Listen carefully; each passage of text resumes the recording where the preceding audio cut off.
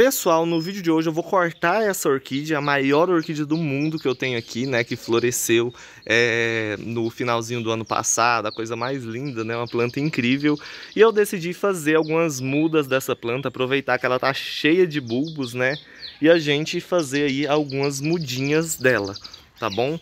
É, esse aqui é o Grammatophyllum speciosum, né? O pessoal confunde muito com o Cirtopode, mas são plantas extremamente diferentes, nada a ver uma com a outra, né?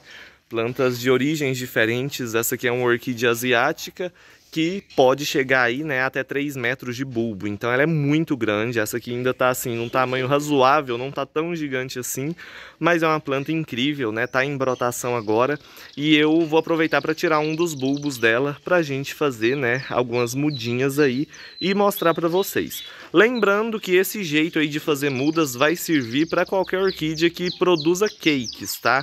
Então vai servir para Cirtopodium, vai servir para o Grammatophyllum, se você tiver um desse em casa e quiser reproduzir ele, né? Vai servir para você fazer também com os catacétums, né? Dendrobium também, é tudo a mesma coisa, tá? São plantas, essas, são tipos de plantas, né? Que produzem mudas aqui, ó, né, ao longo do bulbo. Aqui a gente consegue observar as gemas de brotação, ó, a cada nozinho desse tem uma geminha de brotação.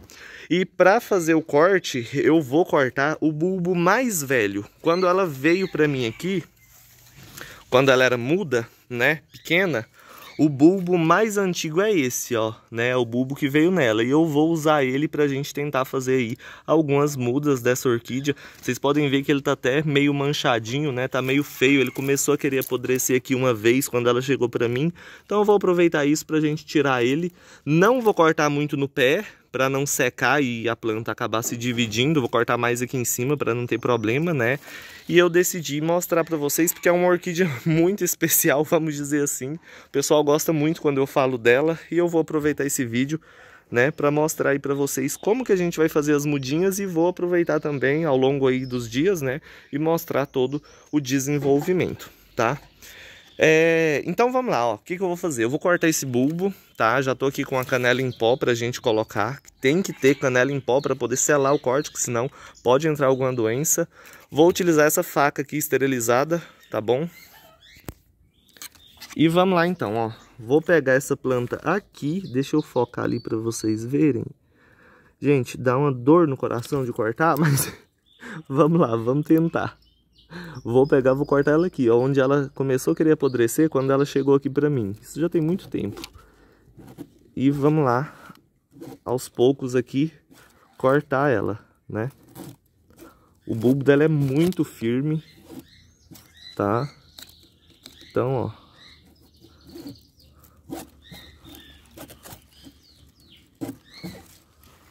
Vou cortar ele e vamos ver o que que vai dar, né?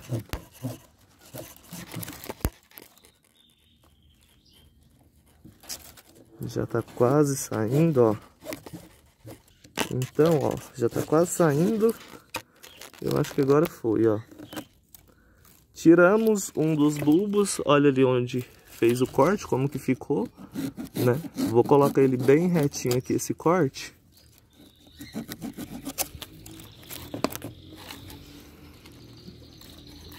E a gente vai passar bastante canela em pó, tá? Pessoal lá da, da Ásia, da Tailândia, né, faz muitas mudas com ele dessa forma, então a gente vai tentar aqui também fazer do mesmo jeito, ó. Passei bastante canela em pó logo após ter feito o corte. Vou passar o dedo aqui, ó, para poder fixar essa canela em pó ali. E é isso. Nunca mais eu vou cortar um pedaço dele, tá? Vai ser só, vai ser só dessa vez, gente. Nossa senhora, eu tô até tremendo aqui. Mas enfim, tiramos um dos bulbos da nossa orquídea gigante e agora eu vou fazer aí, né, as mudas. Igual eu falei para vocês, a cada nozinho desse tem uma gema de brotação. E aí a gente consegue fazer vários cortes ao longo desse bulbo para fazer mais de uma muda, não só uma, né? Então vou posicionar a câmera ali no orquidário para a gente fazer isso. Então, gente, olha só, já organizei aqui, eu vou estar tá plantando nesses vasinhos aqui, os pedaços do bulbo, tá? E tá aqui. É um bulbo relativamente pequeno. Dos que ela tem ali é o menor, que foi o que chegou com ela, né? Já é bem antigo, ele até rachou aqui, tá vendo? Que deu uma rachadura nele, ó. Mas enfim, o que, que a gente vai fazer? A gente vai fazer alguns cortes e eu vou plantar de duas formas diferentes, tá? Eu vou plantar alguns deitados assim no vaso para ele conseguir brotar e aqui mais na ponta a gente vai colocar ele reto ali em pé, né? Então, mais ou menos o tamanho da minha mão aqui, ó, a gente vai cortando sempre é, no meio aqui, ó, desses nózinhos, tá?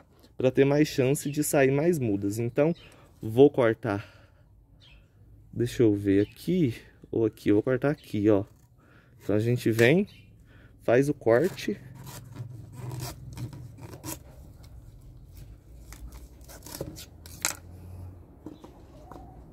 Ficou muito grande. Próximo, vamos fazer ele um pouco menor. Ó. E assim a gente vai indo, ó.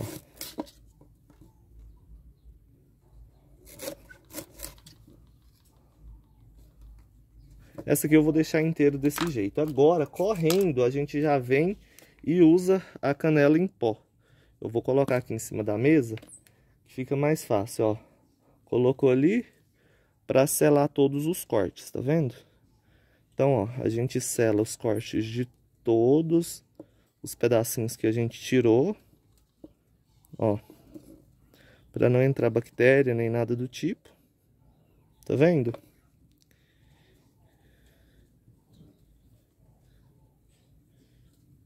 E aqui a gente vai conseguir produzir cinco mudas, né? Dando tudo certo, vão ser cinco mudas. Ai, ai. Esse bulbo eu tava querendo tirar ele já há algum tempo por conta dessas manchas, né? Igual eu mostrei para vocês, surgiu algumas e eu fiquei com medo de acabar apodrecendo, né? Mas aqui a gente observa que a planta já teve, já conteve isso, não tem problema, né? Mas enfim, ó, já tá tudo feito, né? Os pedaços aí cortados, já tudo certinho, tudo é, esterilizado aí com a canela em pó. E uma coisa muito importante que a gente tem que fazer é o seguinte, não dá umidade para esses bulbos para os próximos três dias, tá? Para dar tempo disso aqui cicatrizar direitinho. Porque se a gente faz esse corte, já planta ali e molha hoje, não vai adiantar, né? Pode acabar apodrecendo. Então a gente vai deixar um tempo isso aqui sem umidade. Mas eu já vou plantar. Eu só vou passar a molhada aqui três dias, mas de toda forma eu vou plantar eles já desse jeito, tá? Então a gente pega, ó, vou colocar alguns deitados, igual eu falei para vocês. Colocou ali, tô usando brita com um mix, né? E aí a gente pode cobrir um pouquinho, não muito, tá? Porque se a gente cobrir o bulbo inteiro, não vai adiantar, não vai ter por onde ele brotar, né? Então a gente cobre um pouquinho assim, ó. E tá perfeito, tá? Ó. Plantamos um, a gente, vou plantar aqui esse da ponta, a gente pode colocar ele em pé também, tá? Ó. Pegou, completou aqui com o substrato. Né? E de toda forma, igual eu falei, a gente não vai regar por enquanto, tá bom? Que eu vou colocar deitado também, tem que arrumar mais dois vasos. Vai ficar desse jeito. Depois que passar os três dias, a gente vai molhar diariamente, porque o vaso é de barro, né? Para que esse vaso seca muito rápido, então tem que ter umidade para estimular a brotação, tá? Então a gente vai molhar todos os dias. E uma coisa importantíssima para você estimular a brotação de bulbos assim é colocar na sombra, tá? Num lugar mais escuro que tiver. Quando fica muito no escuro, a planta vai tentar brotar mais rápido para poder captar um pouco mais de luz para se desenvolver. Se você coloca isso aqui no sol, ele vai desidratar e vai custar brotar. Coloca no lugar que tem um ambiente mais úmido e bem escuro, onde não pega luz do sol, para que ele brote mais rápido. Vai ser muito mais fácil né, para você ter aí as mudas de qualquer orquídea que, você, que, que, brote, né, pelo bulbo, que não é qualquer uma. Se você pegar uma catleia e plantar desse jeito aqui, não vai brotar, né? Então tem que ser essas plantas que tem esse monte de risquinho aqui no bulbo, ó, porque a cada risquinho desse tem uma gema de brotação. Todas elas vão conseguir desenvolver. Você pode plantar deitado ou em pé, manter a umidade no lugar mais escuro que ela vai desenvolver. Eu, como ele é uma planta especial e eu fiquei numa dó danada de tirar esse bulbo, eu vou utilizar um enraizador para estimular a brotação dele mais rápido, tá? Então eu vou utilizar o CA Crop um pouquinho, depois se vocês quiserem, o dia que eu for utilizar, vocês me falam que eu gravo, mas igual eu falei, né? Nesses três primeiros dias, nada, não vai ter nada neles. Não vou jogar água nem nada do tipo. Ele só vai para um lugar sombreado mais escuro né, para poder estimular essa brotação aí mais rápido, porque ele já tem energia ali no bulbo, não tem raiz para absorver a umidade, mas, né, a gente tem que dar uma certa umidade aí com o tempo para que ele brote mais rápido, tá bom? Mas é basicamente isso, ó. Então eu vou pegar aqui mais dois vasinhos para a gente plantar o resto, pera aí. Então, pessoal, ó, já plantei, aí ficaram três assim deitadinhos. Os bulbos são meio amarelados aqui, porque é sol pleno, tá? Então fica na luminosidade ali o dia inteiro. Por isso que é meio amareladinho assim. Aí, esses três ficaram deitadinhos, vocês podem ver que eu cobri aqui quase até o nível do substrato, mas não cobri o bulbo inteiro, né? Esses outros dois aqui ficaram em pé, porque foi pedaços maiores, né, de bulbo aí, e é basicamente isso. Agora é cuidar, ficar molhando direitinho, né? Igual eu falei para vocês, não pode deixar isso aqui sem umidade, porque senão dificilmente brota. Mas também não pode encharcar isso aqui toda hora, porque senão apodrece, né? Então tem que esperar secar para molhar de novo, por isso que eu plantei no vasinho de barro, porque a gente pode molhar todo dia, né? Quem for fazer mudas assim, vocês podem estar utilizando é, aquela água de babosa para regar, pode usar algum enraizador que você tiver aí, ou adubo de crescimento que vai estimular a brotação mais rápido. Mas o mais importante é dar a umidade, não enterrar isso aqui demais. Se tiver esfagno, pode fazer uma caminha de esfagno. Eu não gosto porque eu tenho medo de apodrecer, então assim é melhor, que vai secar mais rápido. E vocês podem utilizar é, o enraizador, deixa eu ver mais o que. Ah, o mais importante é deixar na sombra, tá? Então coloca aí na sua casa, dentro de um lugarzinho aí que não pega sol, no lugar que é bem sombreado mesmo. Quanto mais escuro for o ambiente que você colocar, mais rápido brota, tá? Tem algumas pessoas que para fazer brotar, estimular a brotação mais rápido, coloca dentro de uma caixa. Tipo, pega uma caixa de sapato, coloca os vasos lá dentro, tira na hora de regar, né, e tudo mais que tem que molhar, mas deixa sempre coberto ali, tampado dentro de uma caixa, porque fica bem escuro, né? E essa escuridão aí, vamos dizer assim, vai estimular a brotação mais rápido, tá? Então vocês podem estar tá fazendo isso, eu vou fazer um teste, eu vou pegar um desse aqui, colocar numa caixa, deixar ele coberto lá no escuro e os outros eu vou deixar só no lugar mais sombreado mesmo, pra gente ver aí é, qual que vai brotar primeiro, né? Qual deles aí que vai brotar mais rápido, o que vai ficar completamente no escuro ou o que vai ter luminosidade, assim, vai ter sombra o dia inteiro, mas vai pegar uma claridade, vamos dizer assim né? Então vamos aproveitar aí também para fazer essa experiência, tá? Mas lembrando, só daqui três dias que começa a molhar e utilizar qualquer adubo que for usar, tá? Pode colocar aí já na sombra, no lugar mais escurinho, que você vai ter um resultado bem legal. E rapidinho ele vai estar tá desenvolvendo brotinhos aqui, ó. Isso aqui também, ó, uma planta que tem vários daqueles gominhos, igual eu falei para vocês, que a gente fez um corte, coloquei aqui esse pedaço dela, né? Achei que nem ia brotar direito, só coloquei aqui mais ou menos e olha aí o brotinho, ó, né?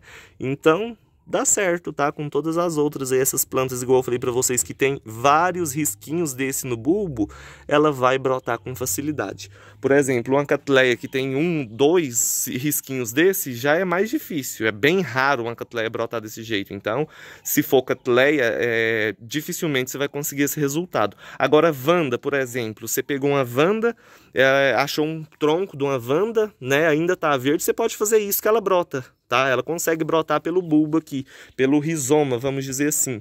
Um denfal, a mesma coisa, você vai conseguir, né? Então todas essas plantas, dendrobium também, ó, vários risquinhos desse no bulbo, vários gominhos. Quer dizer que ela brota com maior facilidade quando você tira um pedaço e faz o replante aí, tá bom? Agora essas outras que não tem esse tanto de risquinho no bulbo inteiro, nem adianta que não vai brotar, tá? Oncidium, catleia, essas coisas já é mais difícil. Agora as que tem esses riscos, qualquer uma delas você pode fazer desse jeito, cortar desse jeito o bulbo antigo para fazer muda que você vai ter um resultado perfeito, tá bom? Então fica a dica, tá aqui, né? um corte aí do bulbo da nossa orquídea gigante, que eu já estou ensaiando para fazer esse corte. Já deve ter quase um ano, mas nunca tive coragem. Hoje eu decidi vir aqui cortei ali já no impulso, né, e mostrei para vocês, já gravei pra gente fazer esse vídeo aí e fazer esse teste da, da escuridão. Né? Se a que ficar completamente no escuro vai brotar mais rápido do que as que ficar pegando claridade sem sol, tá? Mas a dica tá aí, o plantio tá aí também e vamos rezar para funcionar, vamos rezar para esses, esses bulbos brotar aí para a gente conseguir mais mudas, né?